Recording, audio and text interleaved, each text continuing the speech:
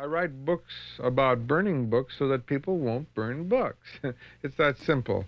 I write stories about people destroying themselves so that people won't destroy themselves.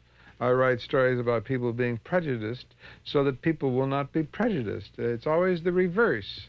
Uh, any negative story that I do has a positive off print. What you take away from it should be the positive that is uh, printed from the negative. So uh, I'm not predicting these futures. I'm writing the stories so those futures won't happen.